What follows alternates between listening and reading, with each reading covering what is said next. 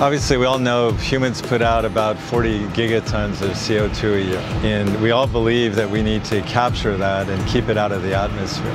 But the question is, where do you put that much CO2?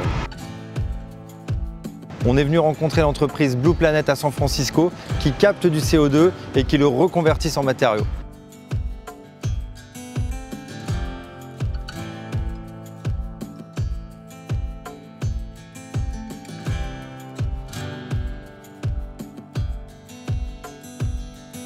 This is a power plant that burns fuel to generate electricity for all of the San Francisco Bay Area.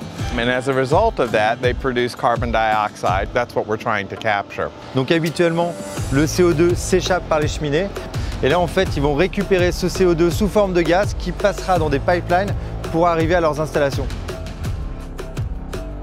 This skid right here is how Blue Planet's technology captures carbon dioxide it turns that carbon dioxide into the solid materials, the solid carbonates specifically that are used as aggregates in concrete.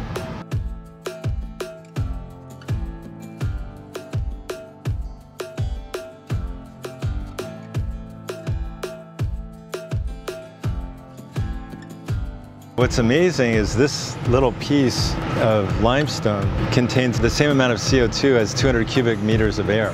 200 cubic meters of air in one little thing like this. yeah, same amount of CO2.